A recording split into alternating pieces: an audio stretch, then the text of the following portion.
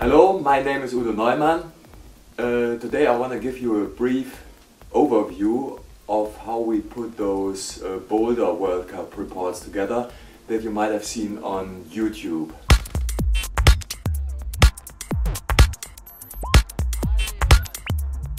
My main objective for being at these competitions is to coach my athletes.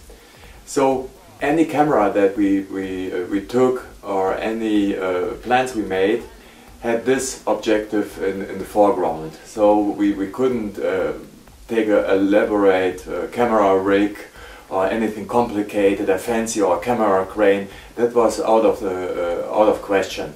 We had to uh, only film our athletes with very simple cameras for later analysis of their movements, and for, for tactical behavior. So we do this anyhow.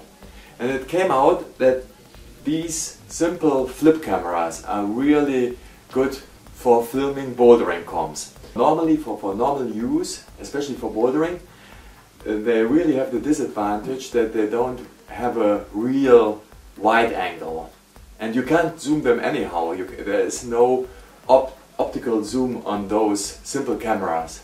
They have an angle of about a 50 millimeter uh, lens and this works out really perfectly for bouldering comps. The other advantage of uh, these cameras, or if you're shopping for, for a camera like this, they're really cheap, depending on, on if you buy a last year's model or a, a recent model, up-to-date model. The most important thing, or the biggest advantage of those cameras for the um, bouldering clips was that they do 60 frames per second. And this allows for really nice slow motion uh, that uh, you don't have to render in the computer, but they're already there. I come back to this later when I talk about software. This is the Kodak ZX1. I got those cameras last early last year, early 2010 um, I don't know if there's a, there might be a better model, but they worked really nicely. The, the image quality is okay, as many of those recent cheap cameras. The, cam the quality is okay, it's really not great at all, but they work, uh, especially this model works fairly well under low light, what is also uh, an issue you have to think of when filming bouldering comp. So we, I, I took two of those Kodak ZX1s and I handed those out to the athletes that were not longer in, at the comp.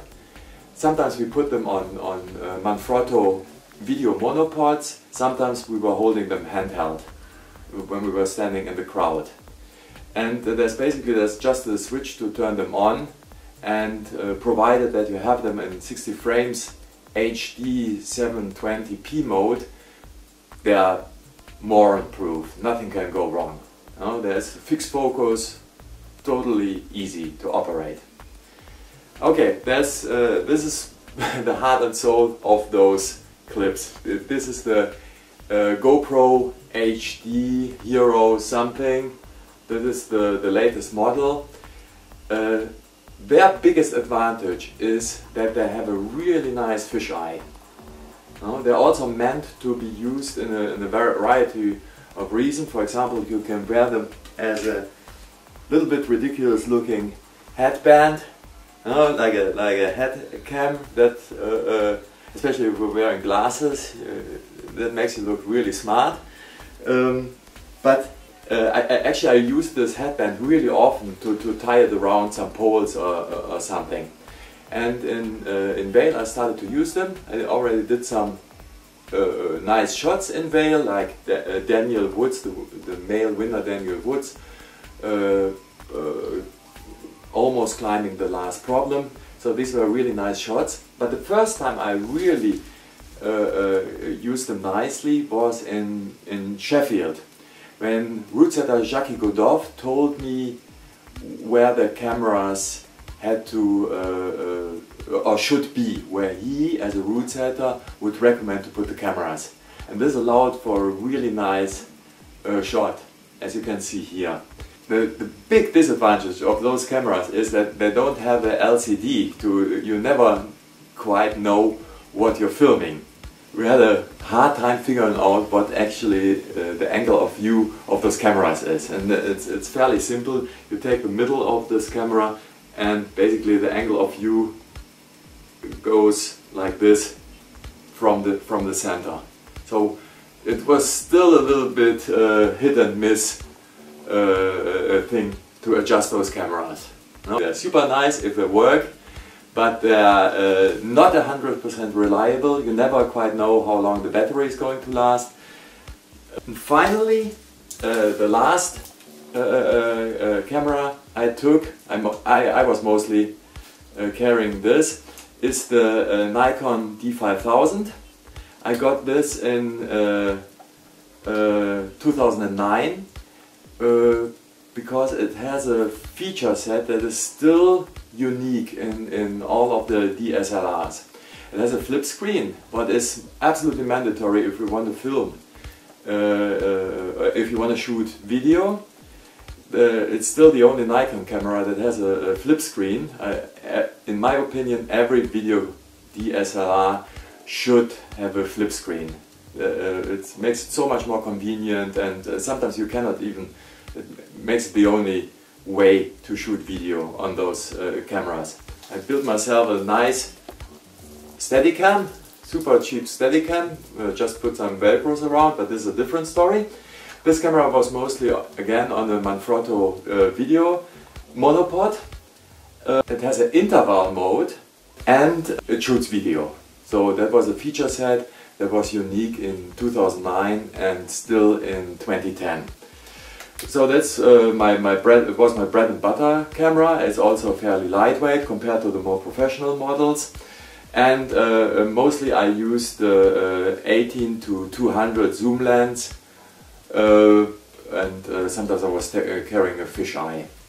Originally I got this camera for kite aerial photography for, for the interval mode because it's, it's lightweight as far as DSLRs go. As you can see on those clips, it worked okay. The main problem with those clips is that uh, sometimes we were standing in the crowd, so it was really, uh, it was impossible to hold the camera still.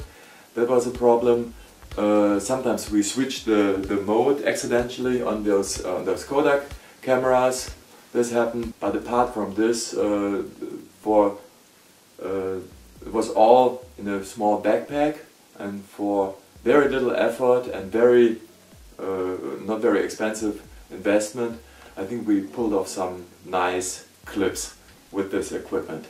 I want to thank all the route setters at the various comms for giving me an idea where to place the cameras. Especially Jacky Godoffe in Sheffield had a very clear understanding of where the most spectacular position for this camera is and as you can see it worked out out nicely. Thanks for watching and stay tuned for uh, 2011's Bouldering World Cup reports that we hopefully will do.